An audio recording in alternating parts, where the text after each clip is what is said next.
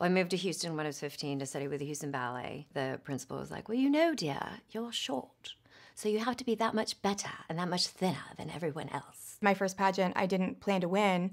And then when I won, suddenly I get a list from the judges of everything I need to change about myself. That's something that I think I took on was that I need to drop 10 pounds. I went in, screen tested, got down to the final two for this movie, and didn't get it.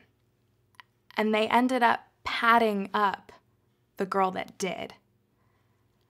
And that was probably the most heartbreaking that, like, even. Even I, I couldn't even be me in that moment. I felt like I was in this really dark hole in this ground, and I saw one ray of light, and I could see hands of my family and friends like reaching down to help me get out of it, and I couldn't reach them.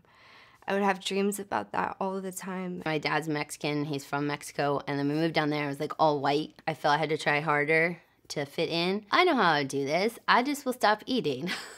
in Malaysia, it was a lot easier to um, kind of hide the fact that it was an eating disorder. I had a CAT scan and MRI, like all this stuff, because they were trying to figure out why I was losing weight so rapidly. And I was just like so deep in the problem that I couldn't just say I have an eating disorder. I could control what I ate less and less and less, and gave me more and more power, I thought.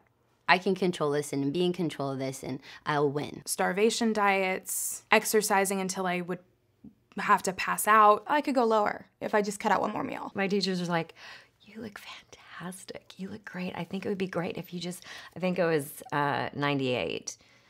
And, and she was like, I think 96 is your perfect weight. And I was like, Okay, yeah, I think so too. That'll be great.